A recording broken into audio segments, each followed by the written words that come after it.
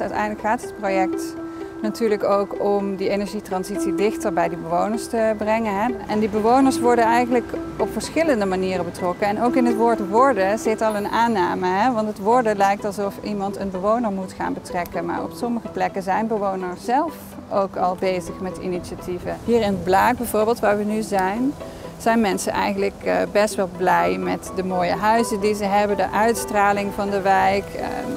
Eh, staan behoorlijk wat vrijstaande woningen. Eh, en mensen vinden het heel belangrijk, die uitstraling en hoe het eruit ziet. Zij maken zich bijvoorbeeld zorgen over, ja, wat als we dan nu allemaal dat grootschalig gaan isoleren en veranderen. Wat, moet, wat gaat er dan allemaal aan ons straatbeeld gebeuren? En dat is ook verschillend tussen verschillende wijken.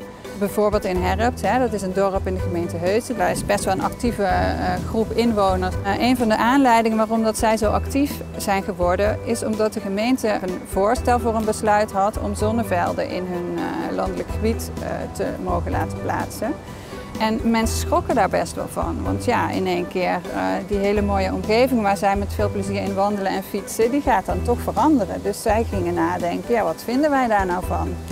En ze zeiden ook van ja, wij willen niet tegen die energietransitie zijn, want we zien ook dat het belangrijk is. Maar hoe kunnen we dan uh, daar zelf ook ons steentje aan bijdragen en juist de goede manier voor ons en voor de planeet en voor onze woonomgeving vinden. Dus die, die uitdagingen zijn ook van ja, wat hebben we nou individueel te doen, wat hebben we met elkaar te doen, uh, hoe komen we toch verder in die, in die onzekerheden.